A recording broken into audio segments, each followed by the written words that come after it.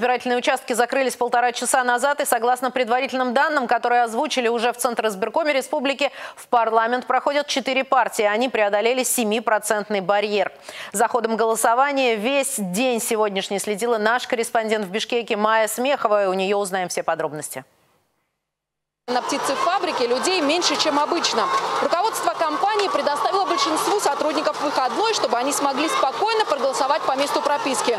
Остальные работники будут уходить на пару часов поочередно.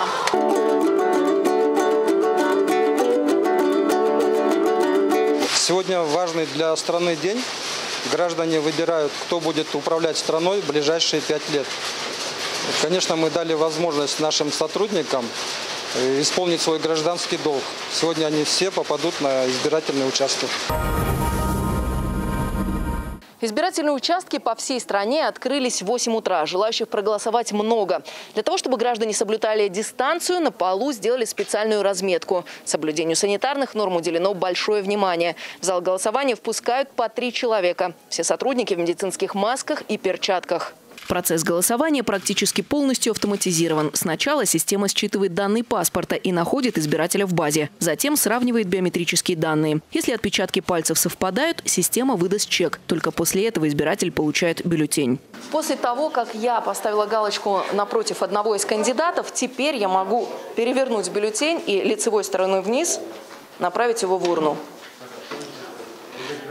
Все, мой голос уже засчитан. Сегодня в Бишкеке довольно прохладно. На этом избирательном участке угощают горячим чаем и борсоками. Это кыргызские национальные пончики. Несмотря на пандемию, желающих повлиять на то, как будет жить страна в ближайшие несколько лет, много. Кыргызстан – парламентская республика. Джигурку-Кенеш – законодательный орган, в обширные полномочия которого входит и формирование правительства, и контроль за исполнением законов, и утверждение бюджета, и введение режима ЧП. У каждого избирателя сегодня свои критерии выбора. Чтобы мы просветали, чтобы мы шли вперед.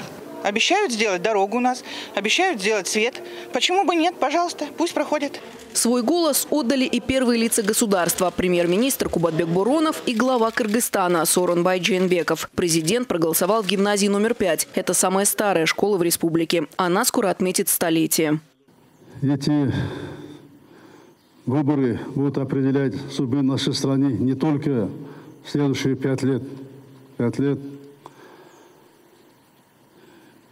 И все мы должны прийти на выборы, прийти на участки и проголосовать, и сделать свой политический выбор. В парламенте Кыргызстана 120 депутатов. Изначально участвовать в выборах планировали более 40 партий. В итоге за мандаты борются 16 политических объединений. Им нужно преодолеть 7-процентный общенациональный барьер и набрать как минимум 0,7% в каждом регионе страны. В бюллетене есть также позиция против всех. Если этот пункт выберет большинство граждан, будут назначены повторные выборы.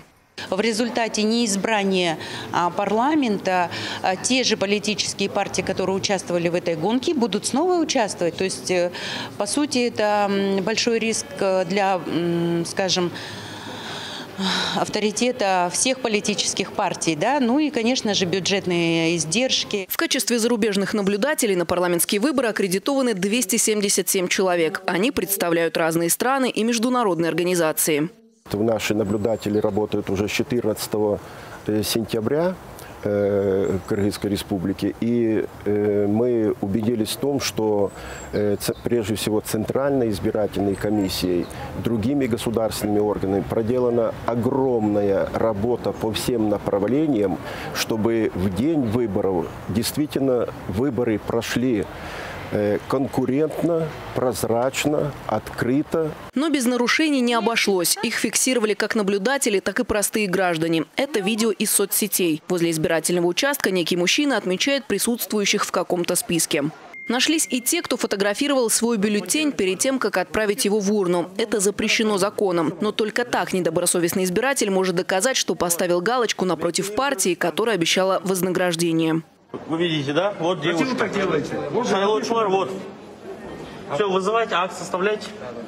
Если докажут, да, правоохранительные органы докажут факт подкупа, эти лица будут привлечены к уголовной ответственности, уголовные дела будут направлены в суд, и, скорее всего, по ним выйдет обвинительный приговор.